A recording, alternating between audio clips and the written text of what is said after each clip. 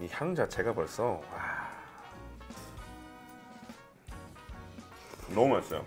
우리 그 이태리 말로 뿌리스마라고 해요. 뿌리스마. 프리스마. 순수의 절정. 음, 말씀하셨듯이 정확한 후배들한테도 콩쿠르에서 무슨 고음을 내고 그게 중요한 게 아니라 음. 가지고 있는 그 기본 기초. 저희도 이 음악 가장 담백한 음악을 만드는 기초에 충실하자. 기초에 충실하자. 음. 음. 그래서 이 냉면을 드렸습니다. 냉면. 너무 맛있다. 진짜 너무 맛있는데요? 그 본인의 홈그라운드에서 예. 음악을 하는 거와 뭐 자주 가는 곳이든 예. 처음 가는 곳이든 예. 다른 곳에 가서 예. 음악을 하는 것이랑 예. 느낌이 어떻게 다르죠. 다른가요? 그러니까 뭐 예를 들어서 뭐 제가 쾰른에서 하는 거랑 뭐 드레스덴이나 베를린이나 바이로이트에서 할 때와 파리에서 할 때 훨씬 더 거기가 더 exciting하긴 하죠. tension도 틀리고 긴장감도 틀리지만 화려함도 이면에 쾰른 극장에 갔을 때 정말 저를 다 아는 저와 23년을 같이 한 관중들이 저를 바라보는 그 그윽한 시선. 근데 이제 바이로이트만 가도 그윽한 시선이 아니잖아요. 어디 틀려봐라. 이거 리브레토를 들고 와서 보고 있어요. 이렇게. 공연하는데 거기가 불이 환해가지고 다 들고 있어요. 이렇게 보면서.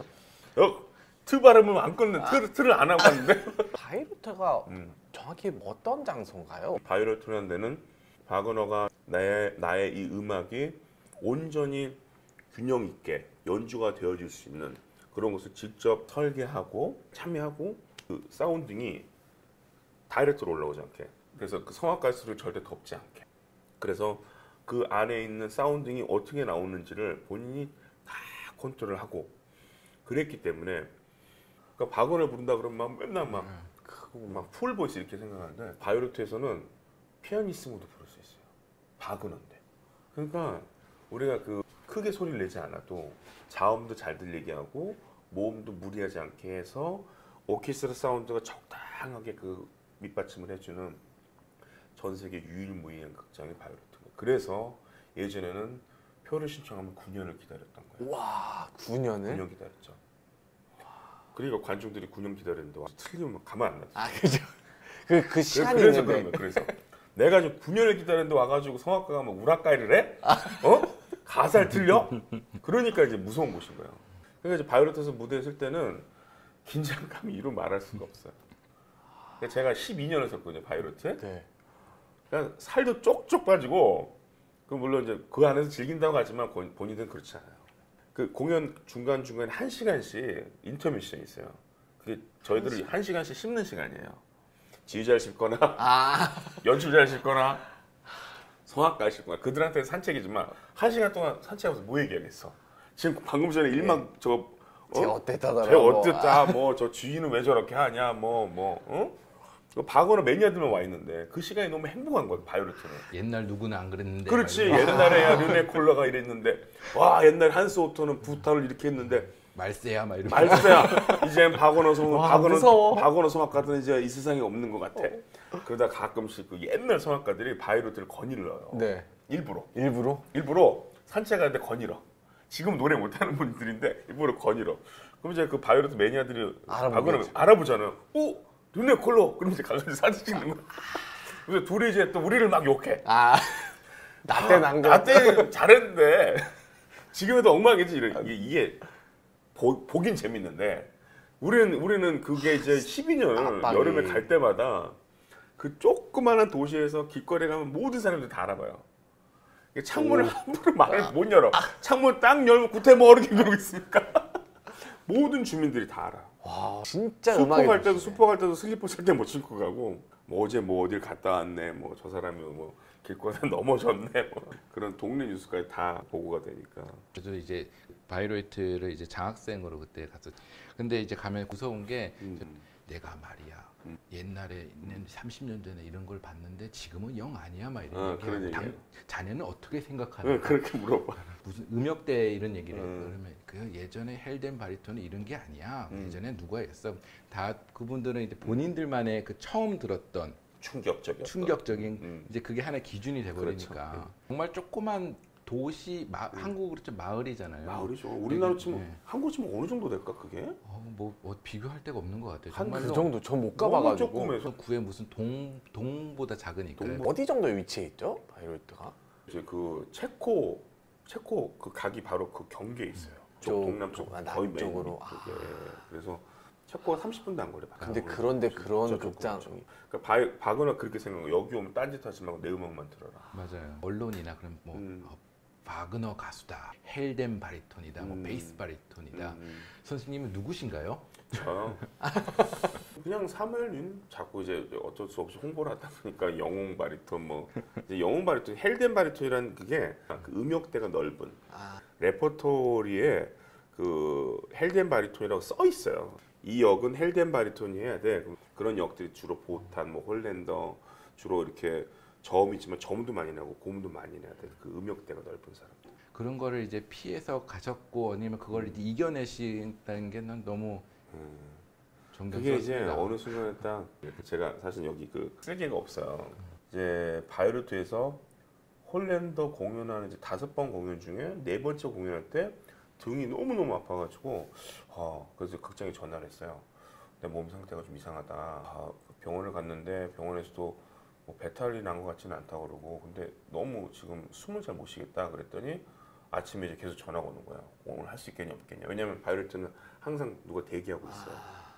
근데 그래도 그냥 했어요. 공연도 무사히 잘 마쳤어요.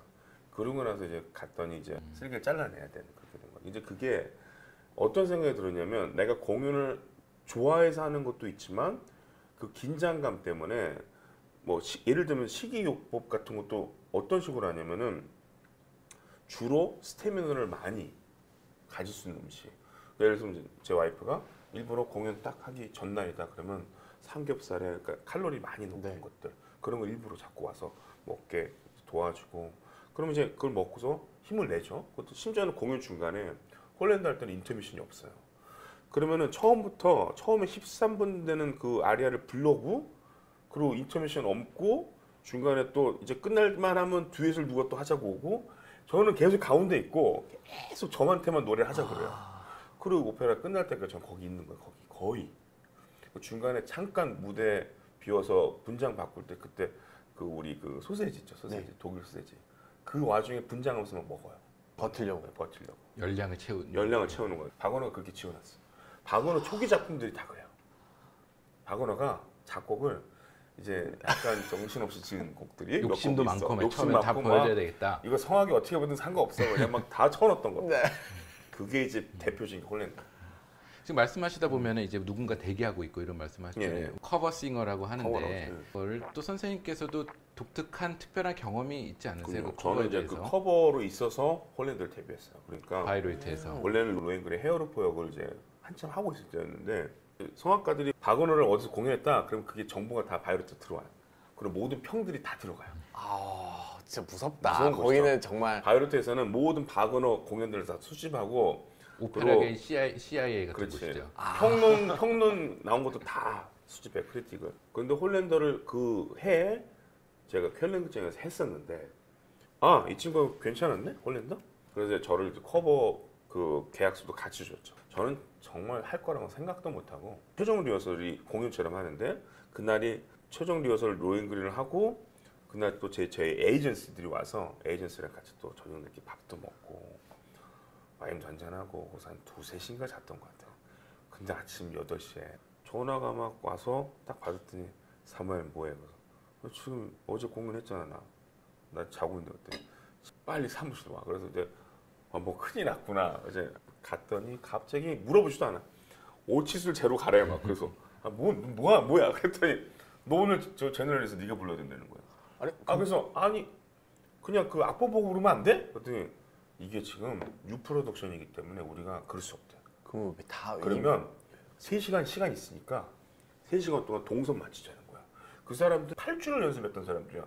나보고 지금 3시간 만에 그걸 다 하라는 거야. 그런데 이제 뭐 갔더니 막 한 사람은 내 옷을 막 맞추고 있고 한 사람 가발을 계속 씌우고 있고.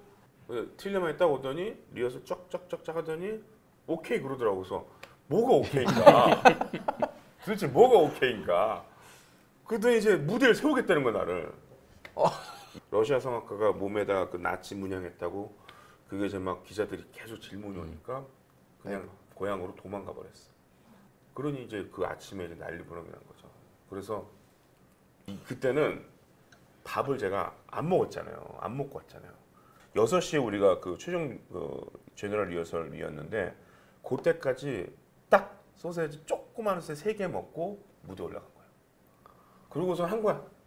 근데 이제 사람들이 사무엘 윤이 누군지도 몰랐을 거 아니야. 물론 로엔그린 본 사람들은 알지. 이 Heerrufer는 가기는 되지만 홀랜더 같지는 않아요. 무대 올라갔고 했는데 이제 제가 이제 그 바이로이트를 구한 사람이 된 거예요. 와. 근데 보통은 최종 리허설까지 구해주는 사람으로 그쳐요. 왜냐면 커버가 한 명 있는 게 아니에요. 저번에 트리스탄 가져올 때 보니까 트리스탄이 한 네 명이 바뀌더라고. 이졸데도 네 명이 왜 바뀌어. 왜 요? 마음에 안 드니까. 마음에 들어서 응. 어 오케스트라 리허설 때 한 번 시키고 너 다음 사람 한 번 또 시키고 결국에는 이제 딴 사람이 하고 네, 명- 네 번째 사람이 계속 그런 지휘자 틸레만이 틸레만이었지. 그때도 틸레만이었어. 이제 그게 이제 공연이 이제 성황리에 잘 끝나서 모든 장식. 모든 일면에 제 얼굴이 떴죠. 어떤 신문도 있었냐면 그때 뭐 스페인 그, 그, 그 국왕이 무슨 잘못을 저질렀는데 뭐 지금 안 좋은 사람 빨간색으로 스페인 그 국왕 얼굴을 나오고 지금 뜨고 있는 사람 사무엘 이렇게 같이 떴어 이렇게 얼굴이 국왕과 함께. 국왕과 저를 비교하고 막 그랬어. 그래서 그 커버를 통해서 극적인 데뷔를 크게 예. 하셨잖아요. 제 바이로이트에서 그 general 리허설 한다는 게 본 공연보다 부담감 있지 않아요? 그렇죠. 에이전시들이 다 오고 그러니까 이제 네. 공공일 때는 관객들이 오는 거고 제네럴 리허설 때는 그 전 세계 모든 극장 관계자들이 초대받아서 오는 자리이기 때문에 더 어려운 거겠죠. 예. 우리나라 그 이제 오페라계나 음악계에서 그런 시스템이 좀 있으면 좋겠다는 그러니까. 생각이 들어요. 네. 그런 과정에서 이제 한국에 또 교육자로서 계시니까 이제 한국 음악계 특히 오페라계 성악계 좀 내가 이거를 좀 끄집어내서 어떤 것들을 음. 하실 네, 일단은 연주자로서 네. 어, 독일에서 제가 했었던 걸 갖다가 이때까지 저를 오페라 많이 보셨어요. 저는 그 동적인 사람이다 보니까 정적인 어떤 그런 거에 있어서 좀 제가 답답함을 많이 느꼈어요. 근데 이제 얼마 전에 제가 그 요즘 유명한 바리톤 신예죠. 그 김기훈 우리 성악가와 같이 이제 도펠갱어라는 타이틀로 공연을 마포 아트센터에서 했었는데 우리 김기훈도 그렇고 저도 마찬가지고 이제는 영향력 있는 사람이 돼버렸잖아요. 그러면은 과연 우리가 그냥 우리들이 좋아하는 우리들이 즐겨 부르는 그냥 아리아들만 하지 말고 우리 이 역에 있는 한국 음악계가 다시 활기를 갖고 뭔가 새로운 돌파구를 모색할 수 있는 거를 누군가 해줘야 될 텐데 제가 좀 아이디어를 내서 한 10개 정도 되는 그 가곡을 도펠경어라는 이제 제목을 달고 무대를 연출을 해서 스토리텔링을 안 끊어지고 했어요. 그래서 연기도 하고 그리고 그 안에서 한 가곡을 나눠 부르기도 하고 또 어떤 단어는 중요한 단어를 같이 부르기도 하고 연출도 제가 하고 세트부터 해서 심지어 조명 어떻게 쓰는 것까지 제가 다 얘기해서 그래서 그게 얼마나 효과가 날 거에 대해서는 기대도 했지만 걱정도 많이 했어요. 음. 얼마나 관중분들이 이거를 어, 호응을 해주실까 그랬는데 기대 이상으로 너무너무 좋아하셔서 벌써 앵콜로 해달라는 얘기들이 너무너무 많아서 그래서 저한테는 아주 좋은 시발점이었어요. 그게 어, 전 세계적으로 또 그렇게 하는 성악가들이 없고 그러니까 제 바람은 제가 시작으로 여기에 이제 저와 뜻이 맞는 좋은 분들을 초대해서 그 무대에 같이 서서 같이 아 이게 정말 우리 정통 클래식으로도 관중들한테 얼마나 매력적인 소스를 보여주시다라는 거를 이제 조금 조금씩 증명했으면 좋겠어요. 이거는 제가 하려고는 의도는 제가 드러나는 거 물론 있죠. 제가 사무엘윤이 그런 걸 막 연출하고 다 각색하고 막 그 하는 거니까 제가 드러나죠. 근데 제가 그런 좋은 익샘플을 주면은요, 이걸 갖고 많은 저희 음악하는 후배들이 비슷한 걸 내놓을 거예요. 왜냐면 음. 저보다 훨씬 더 창조적일 테니까, 훨씬 더 새로운 세대고, 그들이 갖고 있는 음악적 스펙트, 스펙트럼이 저보다 더 좋을 수도 있고, 다양성도 저보다 더 좋을 수도 있고, 그런 스펙트럼을 제가 열어주는 역할, 길을 터주는. 길을 터주는 역할 정도를 해주는 거죠. 왜냐하면 용기는 누군가가 내줘야 되잖아요. 네. 그러니까 신인들이 그런 걸 했을 때는 아무도 안 몰았을 건 말이에요. 제가 하고 싶은 것들은 그런 거예요. 길을 열어주는 거. 그걸 내가 막 죽어다 나 이것만 해가지고 내가 먹고 살겠다 이게 아니라 그런 길을 열어주는 것들을 자꾸 해줘서 자꾸 우리가 그 음악 교육이 이제 한계에 부딪혔다는 얘기가 안 나오게. 음. 그러니까 시장이 없고 계속 공급은 나오고 네. 수요는 없고 이 수요가 없는 이 한국 시장에서 어쨌든 돌파구를 누군가 해줘야 되는데 제가 그 역할을 조금 제가 조금만 더 희생을 하면 그런 부분을 좀 문을 열어줄 수 있을 것 같아요. 거기에 이제 뜻이 맞는 사람들 생각보다 많아요.